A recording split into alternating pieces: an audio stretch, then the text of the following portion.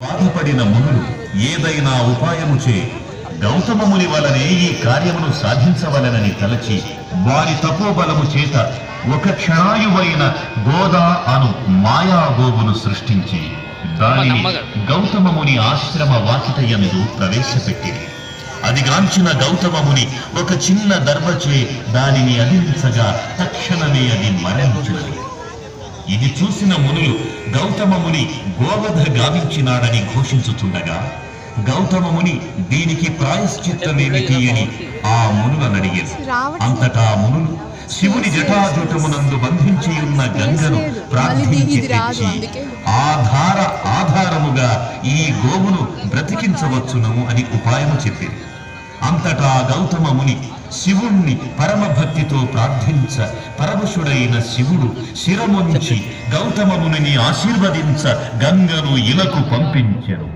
గంగ పరమ భక్తితో గౌతమమునిని అనుసరించి వచ్చి గోవుని బ్రతికించెను.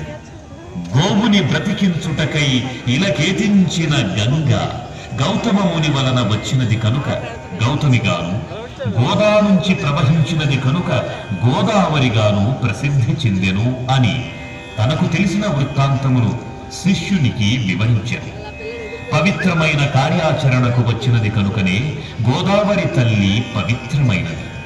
పశ్చిమ కనుమలలోని నాసిక్ నందుగల గోకర్ణికం నుండి ఒక చిన్న ధారగా ప్రవహించి నదిలా మారి దక్షిణాన భద్రాచలమందు రామపాదములను తాకి పంచవటి మీదుగా పాపికొండలను ముద్దాడుతూ ఉభయ గోదావరులకు జీవాధారమై అఖండ గోదావరిగా రాజమహేంద్రవరానికి వరమయ్యింది.